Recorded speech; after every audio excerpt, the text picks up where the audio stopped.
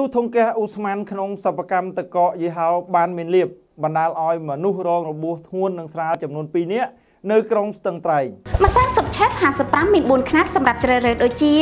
17ក្រាម200ក្រាម400ក្រាមនិង800ក្រាមម្សៅស៊ុបឆេฟ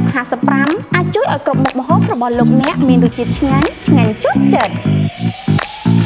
សិប្បកម្មផលិតកកមួយកន្លែងដែលមានយីហោឈ្មោះបានមានលៀបហៅតាត្រី បានរងការផ្ទុះធុងកែអ៊ូស្មានខណៈពេលម្ចាស់សិប្បកម្មកំពុងធ្វើការកែច្នៃជួសជុលធុងកែអ៊ូស្មានឡើងវិញដែលរៀបចំប្រព័ន្ធខុសបច្ចេកទេសបង្កឲ្យមានការភ្ញាក់ផ្អើលដល់សមត្ថកិច្ចនិងបណ្ដាលឲ្យមានមនុស្សរងរបួសធ្ងន់និងស្រាលចំនួន2នាក់ផងដែរករណីនេះបានកើតឡើងនៅវេលាម៉ោង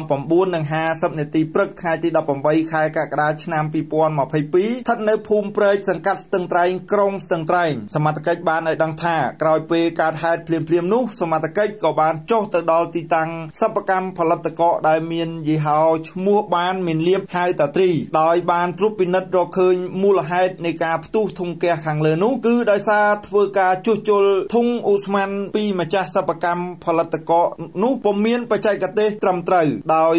ដំណើររៀបចំប្រព័ន្ធដោយខ្លួនឯងបណ្ដាលឲ្យដាច់ទុយោហ្គាសទើបបណ្ដាលឲ្យមានករណីផ្ទុះធុងហ្គាសអ៊ូស្មានបែបនេះកើតឡើងសមត្ថកិច្ចបានឲ្យដឹងទៀតថាជនរងគ្រោះក្នុងករណីផ្ទុះធុងហ្គាសអ៊ូស្មានខាងលើនោះបានរងរបួសធ្ងន់ម្នាក់និងស្រាលម្នាក់សរុបចំនួន2នាក់ជនរងគ្រោះទី1មានឈ្មោះម៉ៅសារឿនភេទប្រុសអាយុ62ឆ្នាំ ជាម្ចាស់សិប្បកម្មផលិតកករស់នៅភូមិព្រែកសង្កាត់ស្ទឹងត្រែងក្រុងស្ទឹងត្រែងខេត្តស្ទឹងត្រែងជនរងគ្រោះរបួសស្រាលទី2និង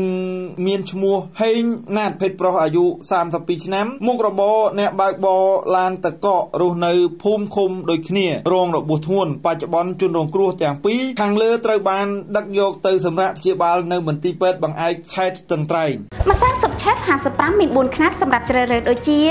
17ក្រាម200ក្រាម400ក្រាមនិង800ក្រាមម្សៅស៊ុបឆេฟ55អាចជួយឲ្យគ្រប់មុខម្ហូបរបស់លោកអ្នកមានរសជាតិឆ្ងាញ់ឆ្ងាញ់ជាប់ចិត្ត